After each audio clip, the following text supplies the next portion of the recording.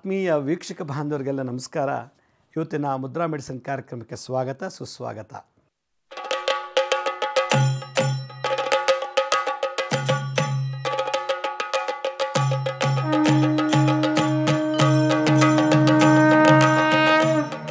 ಇವತ್ತು ಮಾಡುವಂಥ ಎಪಿಸೋಡು ಇವತ್ತಿನ ಒಂದು ಸಂಚಿಕೆ ಭಾಳ ವಿಶೇಷವಾಗಿರುವಂಥದ್ದು ಏನು ವಿಶೇಷತೆ ಅಂತಂದರೆ ಕೆಲವರು ಚೆನ್ನಾಗಿ ತಿಂತಾರೆ, ಚೆನ್ನಾಗಿ ನಿದ್ದೆ ಮಾಡ್ತಾರೆ, ಚೆನ್ನಾಗಿ ಕುಡಿತಾರೆ, ಚೆನ್ನಾಗಿ ಎಲ್ಲ ಐಶ್ವರ್ಯವಂತರಾಗಿರ್ತಾರೆ, ಆದರೂ ಮನಸ್ಸಿಗೆ ಏನೋ ಬಾಧೆ, ಮೈನಲ್ಲಿ ಒಂಥರ ಬಾಧೆ ಅಂತ ಹೇಳ್ತಿರ್ತಾರೆ. ಡಾಕ್ಟ್ರ್ ಹತ್ರಕ್ಕೆ ಹೋಗೋಕ್ಕೆ ಮನಸ್ಸಿಲ್ಲ ಕಾಯಿಲೆ ಅಲ್ವಲ್ಲ, ಅದಕ್ಕೆ ಹೋಗೋಕ್ಕೆ ಮನಸ್ಸಿಲ್ಲ ಇದು ತುಂಬ ಶ್ರೀಮಂತರಲ್ಲಿ ನಡೆಯುವಂಥದ್ದು. ಈ ಮಧ್ಯಮ ವರ್ಗದಲ್ಲಿ ಇದ್ದಾರಲ್ಲ ಅವರು. ಅವರು, ಅಯ್ಯೋ, ತಲೆಯೆಲ್ಲ ಭಾರಾರಿ ಯಾಕೋ ಮನಸ್ಸಿಗೆ ಕಸಿಮಿಸಿ ಏನು ಮಾಡೋಕ್ಕೂ ಮನಸ್ಸು ಬರ್ತಿಲ್ಲ. ತುಂಬ ಬೇಜಾರಾಗ್ಬಿಟ್ಟಿದೆ ಅಂತಾರೆ. ಏನಾದರೂ ಕಾಯಿಲೆ ಇದೆ ಅಂದರೆ? ನನಗೇನು ಕಾಯಿಲೆ ರೀ ಡಯಾಬಿಟಿಸ್ ಇಲ್ಲ, ಬಿ ಪಿ ಇಲ್ಲ ಗ್ಯಾಸ್ಟ್ರಿಟಿಕ್ ಇಲ್ಲ, ಎಂಥದ್ದಿಲ್ಲ. ಯಾಕೋ ಮನಸ್ಸು ಒಂಥರ ನೆಮ್ಮದಿ ಇಲ್ಲ. ಯಾಕೋ ಮನಸ್ಸು ಏನೋ ಕಳವಳ ಅನ್ನಿಸ್ತಾ ಇದೆ, ಏನೋ ಕಳ್ಕೊಂಬಿಟ್ಟಿದ್ದೀನಿ ಅನ್ನಿಸ್ತಾ ಇದೆ, ಏನೋ ಆಗೋಗಿದೆ ಅನ್ನಿಸ್ತಾ ಇದೆ, ಅಥವಾ ಏನೋ ಮುಂದೆ ಆಗ್ಬೋದು ಅಂತ ನನಗೆ ಅನ್ನಿಸ್ತಾ ಇದೆ. ಭಯ ಬರ್ತಿದೆ ರೀ, ಭಯ ಬರ್ತಿದೆ ಅಂತ ಹೇಳ್ತಾರೆ. ಹೆಣ್ಣಾಗಲಿ ಗಂಡಾಗಲಿ. ಇದು ಸರ್ವೇಸಾಮಾನ್ಯವಾಗಿ ಕೆಲವರು ನಂತರ ಬಂದು ಹೇಳ್ತಿರ್ತಾರೆ ಈ ಥರ. ಕೆಲವರಿಗೆ ಗಂಟು ಕಟ್ಟಲೆ ನಿದ್ದೆ ಮಾಡ್ತಾರೆ ಮೈಕೈ ನೋವಂತೆ. ಕೆಲವರಿಗೆ ಐದು ಹೊತ್ತು ತಿಂತಾರೆ ಅವ್ರ ಮೈಕೈ ನೋವಂತೆ. ಬೊಗ್ಗಿ ಕೆಲಸ ಮಾಡಲ್ಲ, ವಾಕಿಂಗ್ ಇಲ್ಲ, ಜಾಗಿಂಗ್ ಇಲ್ಲ, ಯೋಗ ಇಲ್ಲ ಎಕ್ಸಸೈಸ್ ಇಲ್ಲ, ಮನೇಲಿ ಕೂತ್ಕೊಂಡು ಟಿ ವಿ ನೋಡಿಕೊಂಡು ಟಿ ವಿ ಮುಂದೆ ಒಂದು ತಟ್ಟೆಲಿ ಚಕ್ಲಿ, ಕೋಡ್ಬಳೆ, ನಿಪ್ಪಿಟ್ಟು ಎಲ್ಲ ಇಟ್ಕೊಂಡು ತಿಂತ ಧಾರಾವಾಹಿ ನೋಡಿಕೊಂಡು ಟಿ ವಿ ನೋಡ್ಕೊಂಡು ಕೂತಿರೋರ್ಗೆ ಮೈಕೈ ನೋವಂತೆ. ಕಷ್ಟಪಟ್ಟು ದುಡಿಯೋರು ಮೈಕೈ ನೋವಿಲ್ಲ. ಸೂರ್ಯನ ಬೆಳಕಲ್ಲಿ ಬೆಳಗಿನ ಸಂಜೆಯವ್ರು ದುಡಿತಾರೆ. ದುಡಿದು ದುಡಿದು ಮೈ ನೋವು ಬರಬೇಕು. ಅವ್ರಿಗೆ ಮೈ ನೋವಿಲ್ಲ. ಇವ್ರು ಮನೇಲಿ ನಾಲ್ಕು ಹೊತ್ತು ತಿಂದು ಕೂತ್ಕೊಂಡು ಆರಾಮಾಗಿ ಕೂತ್ಕೊಂಡು ಇದ್ದಂಥವ್ರಿಗೆ ಮೈಕೈ ನೋವು ರೀ ಬಾಡಿ ಎಲ್ಲ ಪೇಯ್ನ್ ಬರುತ್ತೆ ರೀ ಅಂತಾರೆ. ಇದೊಂದು ಥರ ಜನ. ಇನ್ನೊಂದು ಥರ ಜನಗಳು ಮನಸ್ಸಿಗೆ ಅವರೇ ಸ್ಟ್ರೆಸ್ ಮಾಡ್ಕೋತಾರೆ. ಅಯ್ಯೋ, ಸರೋಜಮ್ಮ ಸೀರೆ ತೊಗೊಂಬಿಟ್ಲಂತೆ ಸರೋಜಮ್ಮನ ಗಂಡ ಕಾರ್ ತೊಗೊಂಡಂತೆ ಅಯ್ಯೋ, ಅವಳು ಅಷ್ಟೊಂದು ಐವತ್ತು ಗ್ರಾಮ್ ಚಿನ್ನದ ಸರ ಮಾಡಿಸ್ಕೊಂಡ್ಲಂತೆ ಅವಳು ದುಡ್ಡು ಅವಳು ಮಾಡಿಸ್ಕೊಂಡ್ರೆ ಇವ್ರಿಗೊಂಥರ ಸಂಕಟ. ಈ ಸಂಕಟಕ್ಕೆ ಮೆಂಟಲ್ ಸ್ಟ್ರೈನ್ ಜಾಸ್ತಿ ಆಗ್ತಿರ್ತದೆ ಕೆಲವರಿಗೆ. ಇನ್ನೊಬ್ರಿಗೆ, ಏನು ಇವನು ಮನೆ ಕಟ್ಬಿಟ್ಟ, ಸೈಟ್ ತೊಗೊಂಡು, ಓ, ಇವನು ಕಾರ್ ತೊಗೊಂಡ, ಇವನು ಹೆಂಗೆ ಮಾಡ್ತಾನೆ? ನಾನು ಕೈ ತುಂಬ ಒಂದು ಹಗಲು ರಾತ್ರಿ ದುಡಿತೀನಿ, ನಂಗೆ ಬರೋದು ಇಪ್ಪತ್ತು ಸಂ, ಇಪ್ಪತ್ತೊಂದು, ಇಪ್ಪತ್ತೈದು ಸಾವಿರ ಸಂಬಳ. ಇವನು ಇವ್ ತೊಗೊಳೋದು ವಾಚ್ಮನ್ ಕೆಲಸ. ಇವನಿಗೇನು ಆದಾಯ ಇಲ್ಲ. ಇವನು ಹೆಂಗೆ ಮಾಡ್ದ ಅಂಥೇಳಿ ಈ ಪಕ್ಕದ ಮೇಲೆ ರಾಮಣ್ಣ ತಿಮ್ಮನ ಮೇಲೆ ಕಣ್ಣಿಟ್ಟು ನೋಡೋದು. ಹೆಂಗೆ ಹೋಗ್ತಾನೆ, ಏನು ಮಾಡ್ತಾನೆ? ಅಂಥೇಳಿ ಇವ್ನ ಕೆಲಸ ಎಲ್ಲ ಬಿಟ್ಬಿಟ್ಟು ಆ ತಿಮ್ಮಣ್ಣನ ಮೇಲೇ ಕಣ್ಣು. ಮನೆ ಕಟ್ಬಿಟ್ನಲ್ಲ, ನಾನು ಇಷ್ಟೆಲ್ಲ ದುಡಿದು ನಮ್ಮ ಮನೆ ಕಟ್ಟಿದ್ವಲ್ಲ ಅಂತ ಅವನ ಮೇಲೇ ಕಣ್ಣಿಡೋದು, ಅವನ ಮೇಲೇ ಮಾತಾಡೋದು. ಇದೊಂದು ಇವನಿಗೆ ದುರಭ್ಯಾಸ. ಅಯ್ಯೋ, ಅವನು ಹಣೆ ಬರ ಏನಾರು ಮಾಡ್ಕೊಂಡು ಹೋಗಲಿ. ನನ್ನ ಜಾತಕ ಬೇರೆ, ಅವನ ಜಾತಕ ಬೇರೆ. ನನ್ನ ಕರ್ಮ ಹಿಂಗೆ, ಅವನ ಕರ್ಮ ಹಾಗೆ. ಅದಕ್ಕೆ ಅವನೇನು ಮಾಡಿದೇನೋ ಒಳ್ಳೆಯದು ಅದಕ್ಕೆ ಮನೆ ಕಟ್ತಾ ಕಾರ್ ತೊಗೊಂಡ. ನಾನೇನೋ ಕೆಟ್ಟದ್ದು ಮಾಡಿದೆ ಮನೆ ಕಟ್ಟೋಕ್ಕಾಗಲ್ಲ, ಕಾರ್ ತೊಗೊಳಕ್ಕಾಗಲ್ಲ ಅನ್ನೋ ನೆಮ್ಮದಿಯಾದ ಮಾತು ಅವ್ನು ಅಂದ್ಕೊಳ್ಳೋದೇ ಇಲ್ಲ. ಅವ್ನು ಹಂಗೆ ಮಾಡಿಬಿಟ್ನಲ್ಲ. ಅವ್ನು ಹಂಗೆ ಮಾಡ್ತಾ ಇದ್ದಾನಲ್ಲ, ನಾನು ಹಿಂಗಿಲ್ವಲ್ಲ, ನಾನು ಹಂಗೆ ಮಾಡಿಲ್ವಲ್ಲ ಅವನು ಒಂದು ಅಸೂಯೆಗೆ ಮೈಕೈಯೆಲ್ಲ ಬಾಡಿ ಶುರು ಆಗ್ಬಿಟ್ಟಿರ್ತದೆ ಕೂತ್ರ ನೆಮ್ಮದಿ ಇಲ್ಲ, ಮ ಮಲ್ಗ ನೆಮ್ಮದಿಲ್ಲ ಮಧ್ಯರಾತ್ರಿ ತಟ್ಟತ್ತೆದ್ದು ಕೂತ್ಕೊಂಡ್ಬಿಡೋದು, ತಿಮ್ಮಣ್ಣನ ಬಗ್ಗೆನೇ ಯೋಚನೆ, ಕಾರ್ ತೊಗೊಂಡಲ್ಲ, ಸೈಟ್ ತೊಗೊಂಬಿಟ್ನಲ್ಲ, ಮನೆ ಕಟ್ಬಿಟ್ನಲ್ಲ ಅಂತ. ಆಮೇಲೆ ಅವ್ನು ಇಂಪ್ರೂವ್ ಆಗ್ಬಿಟ್ನಲ್ಲ, ಅಯ್ಯೋ ನನ್ನ ಮಗ ಸರಿಯಾಗಿ ಓದಿಲ್ಲ ಅವನ ಮಗ ಸರಿಯಾಗಿ ಓದ್ಬಿಟ್ಟು ಅಲ್ಲಿ ಕೆಲಸ ಸೇರಿಕೊಂಡಲ್ಲ ಅಂತ ಆ ಕೆಲಸಕ್ಕೆ ಸೇರೋ ಹುಡುಗರ ಮೇಲೆ ಚಿಂತೆ, ಸ್ವಂತ ಮಗನ ಮೇಲೆ ಚಿಂತೆ ಇಲ್ಲ. ಎದುರುಗಡೆ ಮಗನ ಮೇಲೆ ಚಿಂತೆ. ನನ್ನ ಮಗ ಹಾಳಾಗೋದ, ಅವನು ಎಷ್ಟು ಚೆನ್ನಾಗಿ ಓದ್ಬಿಟ್ಟು ದೊಡ್ಡನಾದ. ಅವ್ನ ಕರ್ಮ ಚೆನ್ನಾಗಿತ್ತು ಓದೋ ದೊಡ್ಡನಾದ. ನಿನ್ನ ಮಗ ಸರಿಯಾಗಿಲ್ವಲ್ಲ ಅದನ್ನು ತಿದ್ದಬೇಕಾದ ಕರ್ತವ್ಯ ತಂದೆ ತಾಯಿ ಅದು ಮಾಡ್ತಿಲ್ಲ. ಇನ್ನೊಬ್ಬರ ಮನೆಯವ್ರ ಬಗ್ಗೆ ಚಿಂತೆ ಮಾಡೋದು, ದ್ವೇಷ ಮಾಡೋದು, ಅಸೂಯೆ ಮಾಡೋದು, ಇದೇ ಥರ ಆಗಿ ಆಗಿ ಕೈ ಕಾಲೆಲ್ಲ ನೋವು ಬಾಡಿ ಎಲ್ಲ ನೋವು ಹೋಗ್ತಾ ಹೋಗ್ತಾ ಅದಕ್ಕೆ ಡಯಾಬಿಟಿಕ್ಸ್ ಶುರುವಾಗ್ಬಿಡುತ್ತೆ. ಪರರ ಚಿಂತನೆ ಮಾಡಿದ್ರೆ, ಕೆಲಸಕ್ಕೆ ಬಾದವ್ರ ಚಿಂತನೆ ಮಾಡಿದ್ರೆ ಡಯಾಬಿಟಿಕ್ಸ್ ಬರುತ್ತೆ. ಒಂದು. ಯಾವಾಗ ಮನಸ್ಸಿಗೆ ಭಾರ ಜಾಸ್ತಿ ಆಯಿತು, ಕಂಡೋರು ಚಿಂತೆ ಮಾಡೋದು ಕಂಡೋರ ಬಗ್ಗೆ ಮಾತಾಡೋದು, ಕಂಡೋರ ಬಗ್ಗೆ ಅಸೂಯೆ ಪಡೋದು, ಕಂಡೋರ ಬಗ್ಗೆ ಕೆಟ್ಟ ಮಾತಾಡಬೇಕು ಅಂತ ಪ್ಲ್ಯಾನ್ ಮಾಡೋದು ಮನಸ್ಸೊಳಗೆ ಮನಸ್ಸು ತೂಕ ಜಾಸ್ತಿ ಆಯಿತು. ಮನಸ್ಸು ಹಗುರ ಇಲ್ಲ, ಭಾರ ಆಯಿತು. ಈ ಭಾರಕ್ಕೆ ಏನಾಗುತ್ತೆ? ಮೆಂಟಲ್ಗೆ ಸ್ಟ್ರೆಸ್ ಜಾಸ್ತಿ ಆದಾಗ ಕಣ್ಣು ಮಂಜಾಗತ್ತೆ ಡಯಾಬಿಟೀಸ್ ಬರುತ್ತೆ. ಹೂ ಎಷ್ಟೇ ತಿಂದರೂ ಊಟ ರುಚಿಸೋದಿಲ್ಲ, ಎಷ್ಟು ಉಪ್ಪು ಹಾಕಿದ್ರು ಉಪ್ಪು ಹಾಕೋನುತ್ತೆ ಎಷ್ಟೇ ಉಳಿದ್ರು ಅಂದರೆ ನಾಲ್ಗೆ ರುಚಿಸೋದಿಲ್ಲ, ಯಾಕೆ ಮನಸ್ಸು ತುಂಬ ಭಾರ ಆಗಿದೆ. ಯಾವುದು? ಕೆಲಸಕ್ಕೆ ಬಾರ್ದವ್ರ ಮಾತು, ಕೆಲಸಕ್ಕೆ ಬಾರ್ದವ್ರ ಬಗ್ಗೆ ತಿನ್, ಚಿಂತನೆ, ಕೆಲಸಕ್ಕೆ ಬಾರ್ದವ್ರ ಬಗ್ಗೆ ಅಪಪ್ರಚಾರ, ಇದೆಲ್ಲ ಮಾಡಿ ಅದರಿಂದ ನಮಗೇನೂ ಮೂರು ಪೈಸದ ಲಾಭ ಇಲ್ಲ. ಒಂದು ಪೈಸದ ಲಾಭ ಇಲ್ಲ. ಬಟ್ ನಾವು ದಿನನಿತ್ಯ ಬೇರೆಯವ್ರ ಬಗ್ಗೆ ಮಾತಾಡೋದು, ಬೇರೆಯವ್ರ ಬಗ್ಗೆ ಚಿಂತನೆ ಮಾಡಿ ಮಾಡಿ ಮಾಡಿ ಬಿಳಿ ಕೂದಲೆಲ್ಲ ಬಂತು. ಕೂದಲೆಲ್ಲ ಉದುರೋಗ್ತಾ ಇದೆ. ಮನಸ್ಸಿಗೆ ಶಾಂತಿ ಇಲ್ಲ. ಮಲಗಿರಿ, ಈ ಕಡೆ ಮಲಗಿ, ಹಿಂಗೆ ಒದ್ದಾಡ್ತೀವಿ, ಈ ಕಡೆ ತಿರ್ಕೊಂಡು ಹಿಂಗೆ ಒದ್ದಾಡ್ತೀವಿ, ದಬ್ಬಾಕು ಮಲ್ಕೊಳ್ಳೋದು, ಆಕಾಶ ನೋಡಿ ಮಲ್ಕೊಳ್ಳೋದು. ಏನು ಒರಳಾಟ, ನಿದ್ದೆ, ನೆಮ್ಮದಿ, ನಿದ್ದೆ ಇಲ್ಲ. ಯಾಕೊತ್ತಾ ಒಳಗಡೆ ತಳಮಳ, ಒಳಗಡೆ ಇನ್ನೊಬ್ಬರ ಬಗ್ಗೆ ಚಿಂತನೆ ಇನ್ನೊಬ್ಬರ ಬಗ್ಗೆ ಅಸೂಯೆ ಇನ್ನೊಬ್ಬರ ಹೊಟ್ಟೆ ಕಿಚ್ಚು. ಹೆಂಗಾರು ಮಾಡಿ ಅವ್ನು ನಾಶ ಮಾಡಬೇಕು? ಹೆಂಗಾರು ಮಾಡಿ ಅವನು ಸರ್ವನಾಶ ಮಾಡಬೇಕು ಅನ್ನೋ ಪ್ಲ್ಯಾನ್ ಮೇಲೆ ಪ್ಲ್ಯಾನ್ ಆಗ್ತಿದ್ದಾಗ ತಿಂದು ಜೀರ್ಣ ಆಗಿಲ್ಲ, ಎಷ್ಟೇ ಐದು ಹೊತ್ತು ತಿಂದರೂ ಕೂಡ ಅದು ನಮಗೆ ಫಲ ಕೊಡ್ತಾ ಇಲ್ಲ. ಎಷ್ಟೇ ಕೋಟಿ ಐಶ್ವರ್ಯ ಇದು ಕೂಡ ನಮಗೆ ಸುಖ ಕೊಡ್ತಿಲ್ಲ. ನಮ್ಮ ಹಣ ಅಂತಸ್ತೆ ನಮ್ಗೆ ಸುಖ ಕೊಡ್ತಿಲ್ಲ ಅಂದರೆ ಅದ್ರಿಗೆ ಯಾಕೆ ಬೇಕ್ರಿ? ನಾವು ತಿನ್ನೋ ಊಟನೇ ನಮ್ಗೆ ಒಳ್ಳೆ ಆರೋಗ್ಯ ಕೊಟ್ಟಿಲ್ಲ, ಅದು ಯಾಕೆ ತಿನ್ಬೇಕ್ರಿ? ಹೀಗೆ ಮನುಷ್ಯ ಹಾಳಾಗ್ತಿದ್ದಾನೆ, ತನಗೆ ತಾನೇ ದ್ವೇಷ ಹಸುಗಳು ಸಿಕ್ಕಾಕೊಂಬಿಟ್ಟು ಅವಾಗೇನಾಗುತ್ತೆ ಮನಸ್ಸಿಗೆ ಭಾರ ಆಗುತ್ತೆ. ಆ ಬ, ಮನಸ್ಸಿಗಾದಂಥ ನೋವು ಶರೀರಕ್ಕೆ ಒಳಗೆ ಬಿಟ್ಟಾಗ ಶರೀರದಲ್ಲಿ ಎಲ್ಲ ಥರ ಕಾರ್ಯಗಳನ್ನು ಸೃಷ್ಟಿ ಮಾಡಿಬಿಡುತ್ತೆ. ಆಗ ಅವನು ನೋಡೋರ ಮುಂದೆ ಚೆನ್ನಾಗಿ ಕಾಣ್ತಾನೆ, ಒಳಗಡೆ ನೂರೆಂಟು ಕಾಲು ಇರುತ್ತೆ. ಆಗ ಅವನು ರೋಗಿಷ್ಠನಾಗ್ತಾನೆ. ಹತ್ತು ಕಾರ್ ಇರ್ಬೋದು, ಐನೂರು ಕೋಟಿ ಆಸ್ತಿ ಇರ್ಬೋದು ಬೇಕಾದಷ್ಟು ಹಣ ಬಲ ಇರ್ಬೋದು ಜನ ಬಲ ಇರ್ಬೋದು, ಒಳಗಡೆ ಕಾಯಿಲೆ ಬಲ ಇದೆಯಲ್ಲ, ಅದು ಇವ್ರು ಯಾವ ಬಲನೂ ಕ್ಲೀನ್ ಮಾಡೋಕ್ಕಾಗಲ್ಲ, ಹಣ, ಅಂತಸ್ತು ಇಲ್ಲ ಅದರಿಂದ ಆರೋಗ್ಯವೇ ಮಹದೈಶ್ವರ್ಯ. ನಾವು ಆರೋಗ್ಯವಾಗಿರಬೇಕು ಅಂತಂದರೆ ನಮ್ಮಲ್ಲಿ ಏನು ವೀಕ್ನೆಸ್ ಇದೆ ಅದು ಚಿಂತನೆ ಮಾಡಿ ಅದನ್ನು ತೆಗೆದಾಕೋಕ್ಕೆ ಒಂದು ಪ್ಲ್ಯಾನ್ ಮಾಡಬೇಕೇ ವಿನಃ ಅವನ ಮನೆಯದು ಅವನದು, ಇವನದು, ಅವಳದು, ಇವಳ ಬಗ್ಗೆ ಚಿಂತನೆ ಮಾಡಿ ಮಾಡಿ ಮಾಡಿ ಆ ಜಾತಕದ ದೋಷ ನನಗೆ ಬಂತು, ಅವಳ ಬಗ್ಗೆ ಮಾತಾಡ್ದೆ ಅವಳ ದೋಷ ನನಗೆ ಬಂತು, ಅವನ ಬಗ್ಗೆ ಮಾತಾಡಿದೆ ಆ ದೋಷ ನನಗೆ ಬಂತು, ಮುಂದಗಡೆ ಮನೆಯೊಂದು, ಹಿಂದ್ಗಡೆ ಮನೆಯೊಂದು, ಪಕ್ಕದ ಮನೆಯೊಂದು, ಎಡಗಡೆ ಮನೆಯೊಂದು, ಆಫೀಸಲ್ಲಿ ಕೂತು ನಿಂತು ಇದೇ ಅಭ್ಯಾಸ ಆಗಿ ಚಪಲ ಆಗಿಬಿಟ್ಟು ಅವನು ಎಲ್ಲರ ಬಗ್ಗೆ ಮಾತಾಡ್ತಾನೆ ತನ್ನ ಬಗ್ಗೆ ತಾನು ಏನಾಗಿದ್ದೀನಿ, ಏನಾಗ್ತಿದೆ ನನಗೇನು ಮಾಡ್ಕೋಬೇಕು ಅನ್ನೋದನ್ನು ಮರೆತುಬಿಟ್ಟು ಪರರ ಬಗ್ಗೆ ಚಿಂತೆ ಮಾಡಿ ಮಾಡಿ ಇನ್ನೊಬ್ರಿಗೋಸ್ಕರ ಇವನು ಕಾಯಿಲೆ ತೊಗೊಂಡ್ಬಿಡ್ತಾನೆ ಮೆಂಟಲಿ ಹುಚ್ಚನಾಗ್ಬಿಡ್ತಾನೆ. ಹಾಗಾದರೆ ಮನಸ್ಸು ದೇಹನ ಕ್ಲೀನ್ ಮಾಡಿ ಇಟ್ಕೋಬೇಕು ಅಂತಂದರೆ ಈ ಥರ ಕೆಟ್ಟ ಬಗ್ಗೆ ಮಾತಾಡೋದು, ಕೆಟ್ಟದ ಬಗ್ಗೆ ಚಿಂತನೆ ಮಾಡೋದು ಕೆಟ್ಟವ್ರ ಬಗ್ಗೆ ನಮ್ಮ ಎನರ್ಜಿ ನಮ್ಮ ಶಕ್ತಿ, ನಮ್ಮ ಟೈಮನ್ನು ಇನ್ವೆಸ್ಟ್ ಮಾಡೋ ಬದಲು ನಮಗೋಸ್ಕರ, ನಮ್ಮ ಬಾಳ್ವೆಗೋಸ್ಕರ, ನನ್ನ ಮುಕ್ತಿಗೋಸ್ಕರ, ನನ್ನ ಆರೋಗ್ಯಕ್ಕೋಸ್ಕರ, ನನ್ನ ಏಳಿಗೆಗೋಸ್ಕರ, ನನ್ನ ಅಭಿವೃದ್ಧಿಗೋಸ್ಕರ ಏನು ಮಾಡಬೇಕು ಅನ್ನೋದನ್ನು ನಾನು ಇವತ್ತಿನ ಸಂಚಿಕೆಯಲ್ಲಿ ತಿಳಿಸೋಕ್ಕೆ ಪ್ರಯತ್ನ ಪಡ್ತೀನಿ. ಜಗತ್ತು ಇವತ್ತು ಹಾಳಾಗ್ತಿರೋದು ಬಡತನದಲ್ಲಲ್ಲ ದ್ವೇಷ ಅಸೂಯೆಗಳಿಂದ. ಈ ದ್ವೇಷ ಹಸು ಬೆಂಕಿ ಥರ ಹುಕ್ಕಿ ಹರಿತಾ ಇದೆ, ಹುರಿತಾ ಇದೆ, ಅದನ್ನು ಶಾಂತಿ ಮಾಡೋದು ಹೇಗೆ ಅನ್ನೋದನ್ನು ನಾನು ಸಣ್ಣ ವಿರಾಮ ತಿಳಿಸ್ಕೊಡ್ತೀನಿ. ಬನ್ನಿ, ಒಂದು ಪುಟ್ಟು ವಿರಾಮ ತಗೊಳ್ಳೋಣ.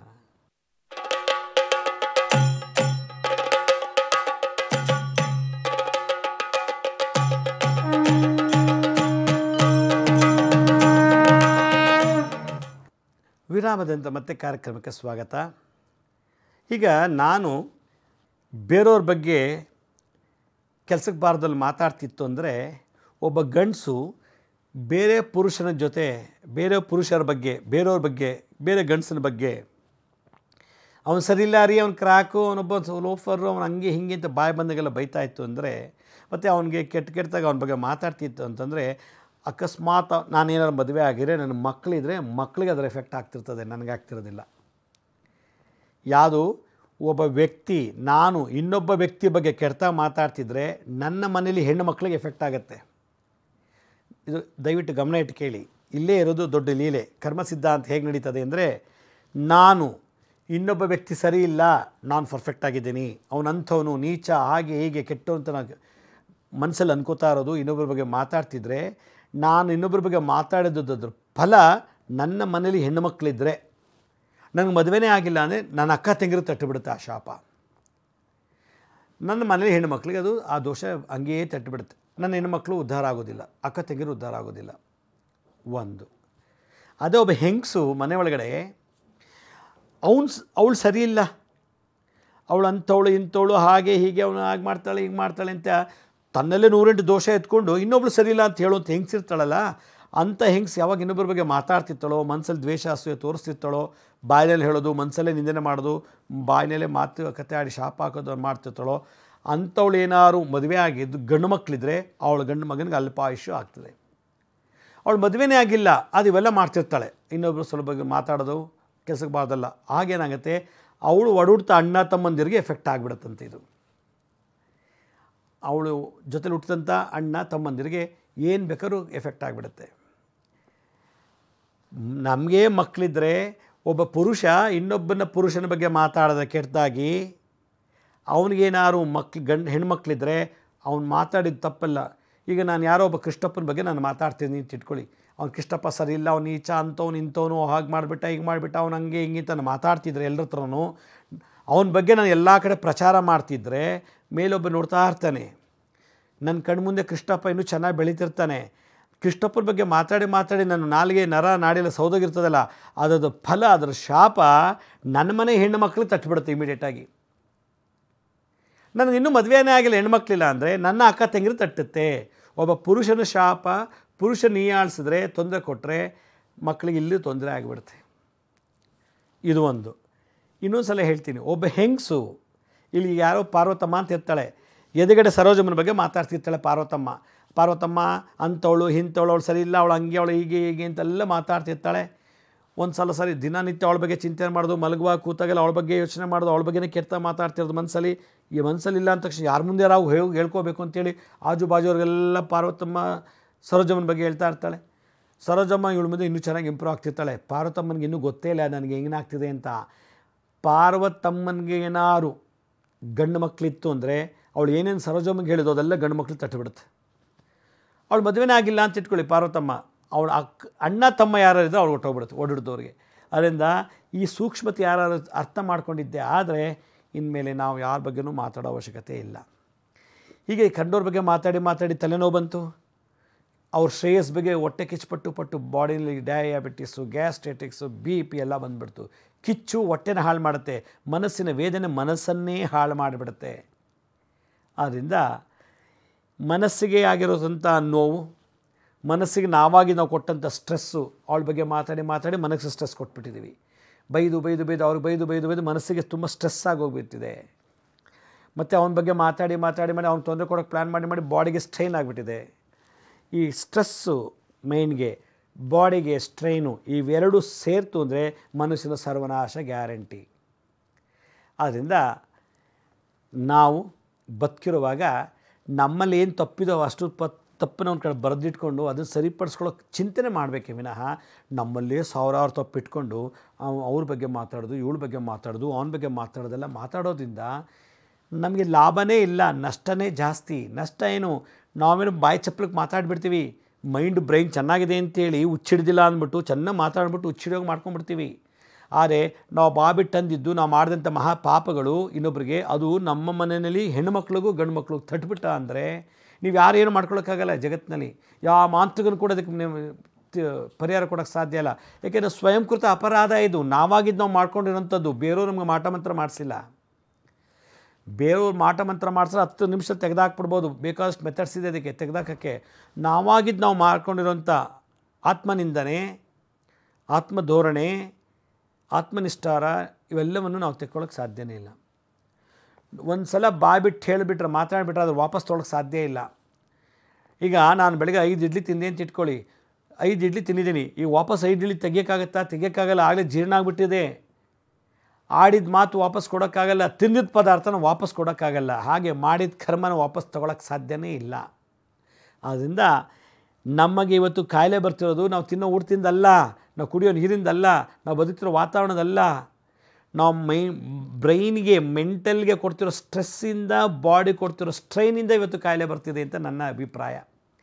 ಆದ್ದರಿಂದ ಮೈಂಡ್ಗೆ ಸ್ಟ್ರೆಸ್ ಕೊಡಬಾರ್ದು, ಬಾಡಿಗೆ ಸ್ಟ್ರೈನ್ ಆಗಬಾರ್ದು. ಸ್ಟ್ರೆಸ್ಸು ಪ್ಲಸ್ ಸ್ಟ್ರೈನ್ ಸೇರಿದಾಗ ಡಿಸೀಸ್ ಬರುತ್ತೆ.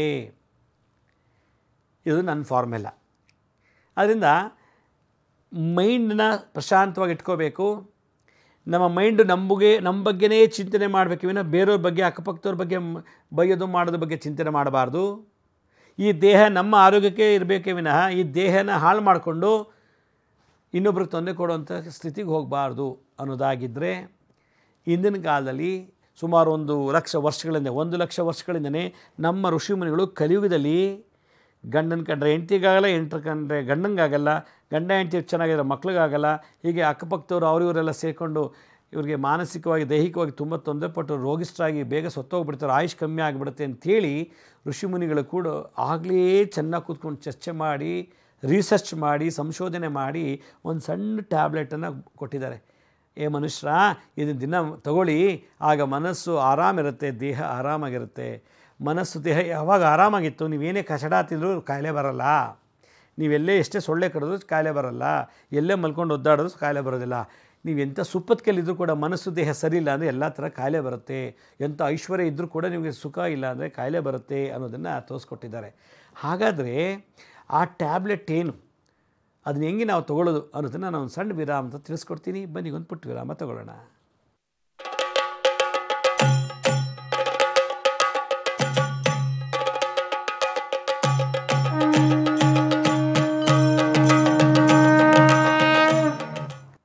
ವಿರಾಮದಂತ ಮತ್ತೆ ಕಾರ್ಯಕ್ರಮಕ್ಕೆ ಸ್ವಾಗತ.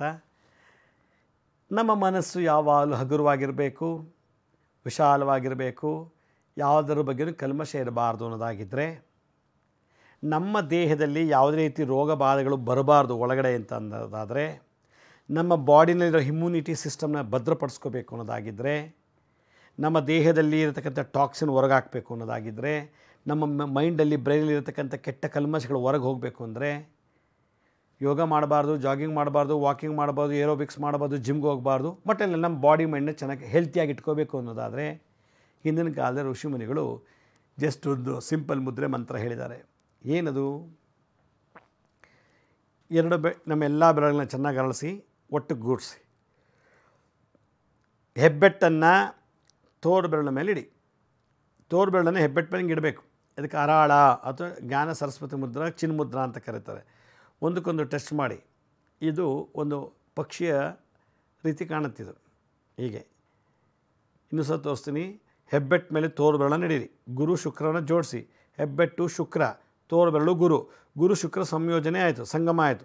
ಇನ್ನು ಉಳಿದ ಬೆರಳುಗಳನ್ನು ಸ್ಟ್ರೇಟಾಗಿ ಇಟ್ಕೊಳ್ಳಿ. ಒಂದಕ್ಕೊಂದು ಹಿಂಗೆ ಟಚ್ ಮಾಡಿ. ಈಗ ಇಟ್ಕೊಂಡ್ರೆ ಇದೊಂದು ರೀತಿ ವಿಶಾಯಶವಾದಂಥ ಪಾತ್ರೆ ಥರ ಕಾಣುತ್ತೆ. ಅಂಶ ಥರ ಕಾಣುತ್ತೆ ಇದು. ಇದನ್ನು ಉತ್ತರಕ್ಕೆ ಮುಖ ಮಾಡಿಕೊಂಡು, ಓಂ ಹಂಸ ಹಂಸ, ಓಂ ಹಂಸ ಹಂಸ, ಓಂ ಹಂಸ ಹಂಸ, ಓಂ ಹಂಸ ಹಂಸ, ಓಂ ಹಂಸ ಹಂಸ ಅನ್ನೋ ಮಂತ್ರ ಹೇಳಬೇಕು. ಯಾವುದು? ಉತ್ತರಕ್ಕೆ ಮುಖ ಮಾಡಿಕೊಂಡು. ಇದಕ್ಕೆ ಹಂಸ ಅಂತೇಳಿ. ಹಂಸ ಹಂಸ ಅನ್ನೋ ಮಂತ್ರ ನೋಡಿ. ಈ ಮುದ್ರಣ ಧಾರಣೆ ಮಾಡಿ, ಓಂ ಹಂಸ ಹಂಸ ಅಂತಂದರೆ ಮನಸ್ಸಿಗೆ ಆದಂಥ ಅಘಾತ ಸ್ಟ್ರೆಸ್, ಬಾಡಿಗೆ ಬಂದಂಥ ಸ್ಟ್ರೈನು, ಸುಸ್ತು ಸಂಕಟವನ್ನು ನಿವಾರಣೆ ಮಾಡಿ ಮೈಂಡಲ್ಲಿ ಅಯಾನಿಕ್ ಕರೆಂಟ್ ಇನ್ಕ್ರೀಸ್ ಮಾಡುತ್ತೆ, ಬಾಡಿನಲ್ಲಿ ಇಮ್ಯುನಿಟಿ ಸಿಸ್ಟಮ್ನ ಜಾಸ್ತಿ ಮಾಡುತ್ತೆ ಹಂಸ ಹಂಸ ಮೊದಲನೇ ಹಂಸ ಬ್ರೈನ್ಗೆ, ಮೈಂಡ್ಗೆ ಹಂಸ ಸರ್ವಾಂಗಗಳಿಗೆ. ಅದರಿಂದ ಓಂ ಹಂಸ ಹಂಸಃ ಸಣ್ಣ ಮಾತ್ರೆ, ಸಣ್ಣ ಮಂತ್ರ ಇದು. ಸ್ಮಾಲ್ ಟ್ಯಾಬ್ಲೆಟ್ ಇದು. ಎಂಥ ದನ ಕಾಯನ್ ಕುರಿ ಕಾಯನು ಹೇಳ್ಬೋದು. ಓಂ ಹಂಸ ಹಂಸಃ ಓಂ ಹಂಸ ಹಂಸ ಅಂತ ಹೇಳ್ತಾ ಇದ್ದರೆ ಬಾಡಿ ಪೇಯ್ನ್ ಎಲ್ಲ ಪೇಯ್ನ್ ಹೋಗುತ್ತೆ. ಶರೀರಕ್ಕೆ ಕಾಯಿಲೆ ಬರಲ್ಲ, ಮನಸ್ಸಿಗೆ ನೋವು ಕೊಡೋದಿಲ್ಲ. ಅದರಿಂದ ಆರೋಗ್ಯವನ್ನು ವೃದ್ಧಿ ಮಾಡಿಕೊಳ್ಬೇಕು ಅನ್ನೋದಾಗಿದ್ದರೆ ಕೆಲಸಕ್ಕೆ ಬರೆದ್ರೆ ಮಾತಾಡ್ದೇ ಕೆಲಸಕ್ಕೆ ಬರ್ದೆ ಕೆಲಸಗಳು ಮಾಡ್ದೇ ನಮ್ಮನ್ನು ನಾವು ನೋಡಿಕೊಂಡು ನಮ್ಮನ್ನು ನಾವು ಆತ್ಮ ಸಾಕ್ಷಾತ್ಕಾರ ಮಾಡಿ ಭಗವಂತನಲ್ಲಿ ಸೇರಬೇಕು ಅಂದರೆ ಈ ಮಂತ್ರ ಹೇಳಿ ಅಂತೇಳಿ ಓಂ ಹಂಸ ಹಂಸಃ ಅನ್ನೋ ಮಂತ್ರ ಹೇಳ್ತಾರೆ. ಅದರಿಂದ ದಿನ ಕೂತ ನಿಂತಾಗ ಒಂದು ಹತ್ತು ಸಾವಿರ ಹೇಳಬೇಕು ದಿನಕ್ಕೆ. ಆಗ ನೋಡಿ ನಿಮ್ಮಲ್ಲಿ ಯಾವ ಕಾಯಿಲೆನೂ ಬರೋದಿಲ್ಲ. ಎಂಥ ಕಾಯಿಲೆಗಳು ಕೂಡ ಒಟ್ಟೋಗುತ್ತೆ. ಅಷ್ಟು ಪವಾಡ ಆಗುತ್ತೆ ಈ ಒಂದು ಸಣ್ಣ ಮಂತ್ರದಿಂದ, ಈ ಒಂದು ಸಣ್ಣ ಟ್ಯಾಬ್ಲೆಟಿಂದ ಇದು ಮುದ್ರಾ ಮತ್ತು ಮಂತ್ರ ಆಯಿತು. ತಂತ್ರ ಏನು?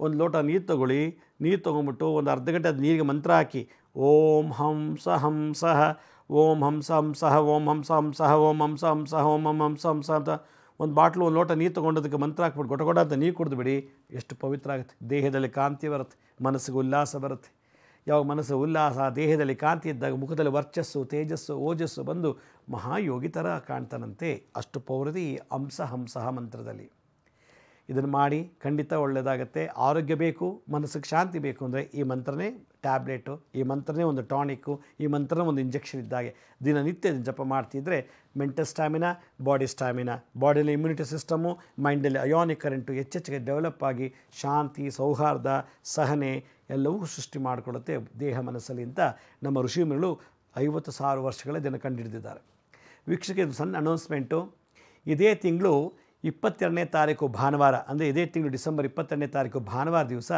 ನಮ್ಮ ಶಿರಡಿ ಸಾಯಿ ಭಿಕ್ಷಾ ಕೇಂದ್ರ ಶಿವಮೊಗ್ಗ ಶಾಖೆ ವತಿಯಿಂದ ಈ ಮಾಟ ಮಂತ್ರಗಳ ತ ಮತ್ತು ಭೂತ ಪ್ರೇತಗಳಲ್ಲಿ ನಳಿತಿರೋರಿಗೆ ತಪಾಸಣೆ ನಡೆಸಿ ಅದಕ್ಕೆ ಪರಿಹಾರವನ್ನು ಕೊಡುವಂಥ ಒಂದು ಶಿಬಿರವನ್ನು ಕ್ಯಾಂಪನ್ನು ಶಿವಮೊಗ್ಗದಲ್ಲಿ ಮಾಡ್ತಾಯಿದ್ದೀವಿ ಯಾರಿಗೆ ಮಾಟ ಮಂತ್ರಗಳು ಕೈ ಸೇದೋಗಲಿ ಕಾಲು ಸೇದೋಗಲಿ ಹುಚ್ಚಿಡ್ದೋಗಲಿ ಮದುವೆ ಆಗದೇ ಇರಲಿ ಮಕ್ಕಳಾಗದೇ ಇರಲಿ ಅಂತ ಮಾಟ ಮಂತ್ರ ಮಾಡಿಸಿದ್ರೆ, ಚೌಡಿ ಪ್ರಯೋಗ, ವರಾಹಿ ಪ್ರಯೋಗ ಶತಚಂಡಿ ಪ್ರಯೋಗ ಚಂಡಿ ಪ್ರಯೋಗಗಳು, ಹೀಗೆ ದುಷ್ಟಶಕ್ತಿಗಳ ಪ್ರಯೋಗಗಳನ್ನು ಮಾಡಿ ನೀವು ಎಲ್ಲ ಈಗಾಗಲೇ ದುಡ್ಡೆಲ್ಲ ಕಳ್ಕೊಂಡು ಹಾಸ್ಪಿಟ್ಲಿಗೆ ಹೋಗಿದ್ದೀರಾ ಮಾಟ ಮಂತ್ರ ತೆಗೆಯೋತ್ರಕ್ಕೆ ಹೋಗಿದ್ದೀರಾ, ಆದರೂ ನಿಮಗೆ ಒಳ್ಳೆಯದಾಗಿಲ್ಲ ನಮಗಿನ್ನೂ ಪರಿಹಾರ ಸಿಕ್ಕಿಲ್ಲ ಅನ್ನೋದಾಗಿದ್ದರೆ ಇದೇ ತಿಂಗಳು ಇಪ್ಪತ್ತೆರಡನೇ ತಾರೀಕು ನೀವು ಶಿವಮೊಗ್ಗಕ್ಕೆ ಬಂದರೆ ಈ ಕ್ಯಾಂಪಲ್ಲಿ ನಾವೆಲ್ಲ ಡಯಾಗ್ನೈಸ್ ಮಾಡಿ ಅನಲೈಸ್ ಮಾಡಿ, ಅದನ್ನು ಫ್ರೀಯಾಗಿ ತೆಕ್ಕೊಡ್ತೀವಿ ನಾವು.